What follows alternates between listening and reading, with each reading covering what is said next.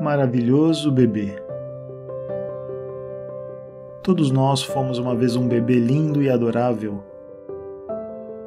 Ao abrir os olhos para o mundo, tínhamos bochechas gorduchas, dedos minúsculos, nossos narizes e bocas eram pequeninas. Como é criada essa arte maravilhosa que são os nossos órgãos e corpos? Fomos nós que os construímos, compramos os encontramos pelo caminho?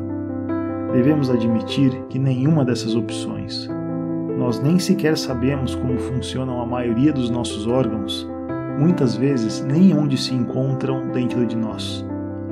Como podemos declarar que eles nos pertencem? Se assim é, então quem é o proprietário destes corpos e órgãos? Principalmente o nosso cérebro, mais avançado dos computadores e o mais surpreendente. E os nossos olhos, que são superiores à câmara de vídeo mais avançada, quem os fez e continua a fazer? Sabemos que os computadores de hoje são o resultado de milhares de anos de conhecimento humano. A tecnologia das câmeras de hoje são o resultado de milhares de pessoas que só puderam desenvolvê-la depois de muitos experimentos. No entanto, estes olhos e cérebros já existiam no primeiro ser humano e continuam a ser feitos.